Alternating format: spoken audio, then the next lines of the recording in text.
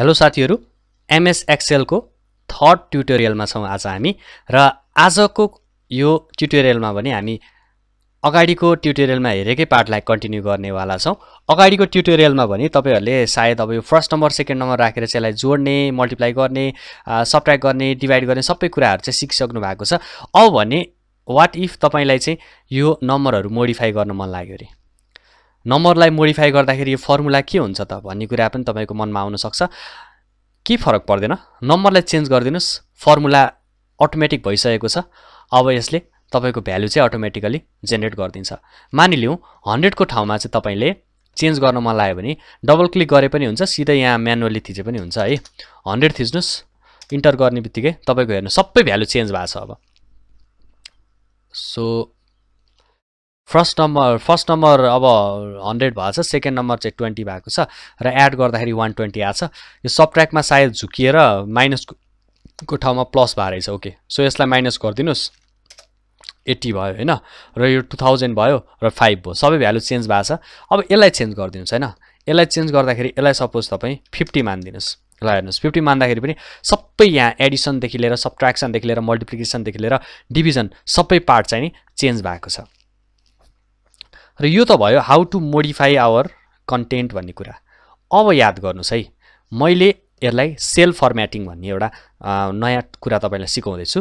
जस्तै मानिलिउँ तपाईँले यति यो जुन तपाईँको सेल छ यसलाई यो यो कोलम भनौँ न यो कोलमलाई तपाईँले सेलेक्ट गर्नुभयो अरे। अब राइट क्लिक गर्नुहोस्। राइट क्लिक गरेपछि यहाँ तपाईँले फर्मेट सेल्स भन्ने देख्नुहुन्छ र बाई डिफल्ट फर्मेट सेल्स चाहिँ तपाईँको जनरलमा जान्छ है।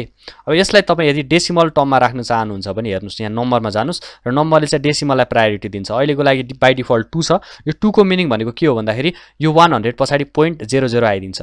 फिफ्टी पछाडि पोइन्ट जेरो जेरो आइदिन्छ।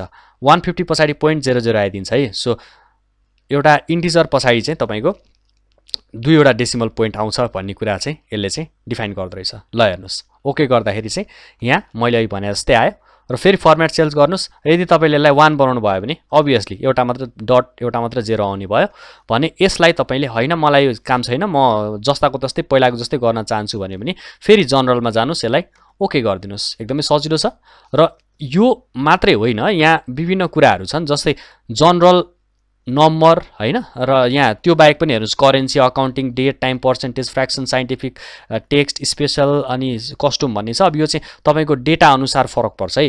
जस्तै तपाईँ स्यालेरीहरूमा अथवा लेनदेन पैसाको कुराहरू गरिरहनु भएको छ भने यहाँ करेन्सीमा चाहिँ तपाईँले युज गर्न सक्नुहुन्छ। एन्ड बाई डिफल्ट चाहिँ हेर्नुहोस् यहाँ डलर छ। डलर बाहेक यहाँ अरू पनि टन्नै हुन्छन् होइन? यसमा चाहिँ तपाईँहरूले चाहिँ युज गर्न सक्नुहुन्छ है। अब यो के छ कसो छ यो तपाईँलाई आवश्यकता अनुसार गर्ने हो। र अकाउन्टिङमा पनि त्यस्तै हो तपाईँको ट्याक्स कटौती गर्ने के कसो छ होइन यो ड डलरको यताउतिहरू यिनीहरू पनि यसमै राख्ने हो। अब डेट टाइम त भइ नै हाल्यो। पर्सेन्टेज तपाईँको रिजल्टहरूको लागि काम लाग्छ भने फ्रेक्सन भनेको पनि तपाईँको म्याथमेटिकल क्यालकुलेसन्सहरूमा कुनै रेसियो प्रपोसनहरूमा पनि काम लाग्न सक्छ। अब यहाँ साइन्टिफिक पार्टहरू पनि छ होइन र यो टेक्स्टको पार्ट स्पेसल कस्ट्युम पनि छ। यसलाई पनि तपाईँले चाहिँ आफूले एक्सप्लोर गरेर हेर्न सक्नुहुन्छ। अहिलेको लागि चाहिँ हामीलाई त्यो जरुरी छैन। अहिलेको लागि चाहिँ मैले यसलाई जेनरल नै बनाउँछु र यसलाई ओके गरिदिन्छु। सो यति नै आजको लागि। नेक्स्ट कुरा चाहिँ अब हामी अर्को लेक्चरमा अर्को ट्युटोरियलमा हेरौँला। Thank you